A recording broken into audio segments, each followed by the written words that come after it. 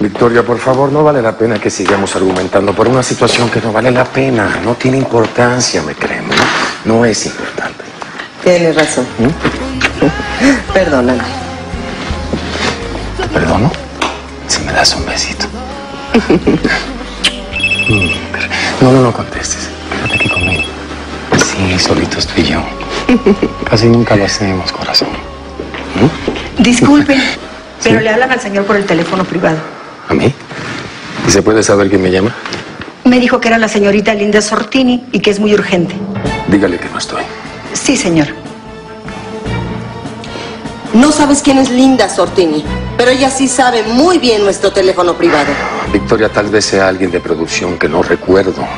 Sí.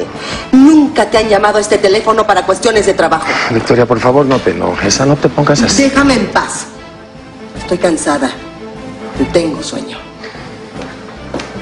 Victoria, por favor, no te vayas así. Victoria. Victoria, regresa, por favor. Victoria, ya te dije que tiene que ser un malentendido. A lo mejor es alguien de producción que no recuerdo. Victoria, por favor, regresa. Victoria.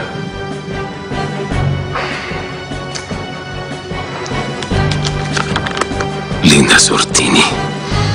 Pero qué atrevida.